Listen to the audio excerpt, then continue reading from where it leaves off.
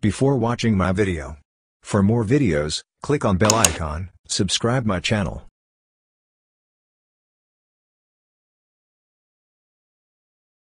If your keyboard works normally in BIOS setup, but does not work during Windows installation, or when your computer turns off unexpectedly due to power cut, or some other reasons, the Windows gives you some options on the boot including Start up repairs, and Start Windows normally. You desperately wants to hit enter on Start Windows normally but, you can't. Your keyboard doesn't work at that time. So basically, you have to wait until the time runs out for selecting an option. This option which counts for 30 seconds or so, and after the time is up Windows will automatically chooses the option that is start Windows normally. So, basically the problem is you can't use your keyboard on boot menu. In this video I will show you how you can fix the keyboard problem on boot menu.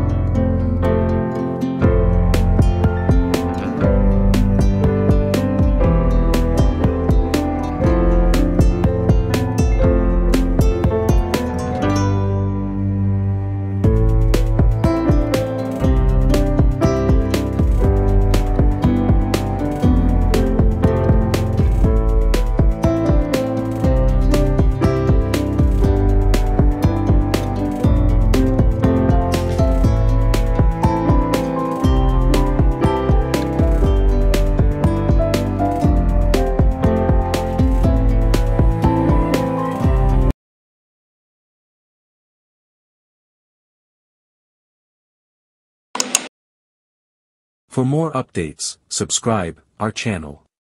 Click the links to watch more videos.